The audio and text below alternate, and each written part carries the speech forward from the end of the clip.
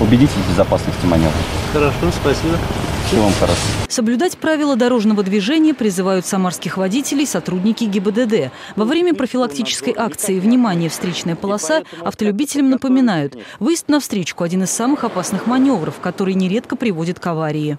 При профилактической беседе с участником дорожного движения ему выдается памятка, а, где сказаны все требования правил дорожного движения а, при осуществлении обгона.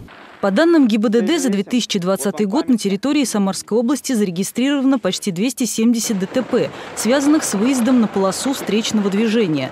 Штраф за это нарушение составляет 5000 рублей, либо лишение прав на срок от 4 до 6 месяцев. Также особое внимание инспекторы уделяют внедорожным транспортным средствам. Совместно с Гостехнадзором проводят рейды, выявляют нарушения при эксплуатации. Это эксплуатация самоходных машин без прохождения технического осмотра без полиса ОСАГО, без удостоверения на право управления с открытой категорией направления данных самоходных машин. С начала года проверили больше 30 внедорожников. Составлено два протокола. Нарушители заплатят штрафы. Профилактические рейды будут проходить в Самаре до конца февраля. Лариса Шлафаст, Максим Гусев. События.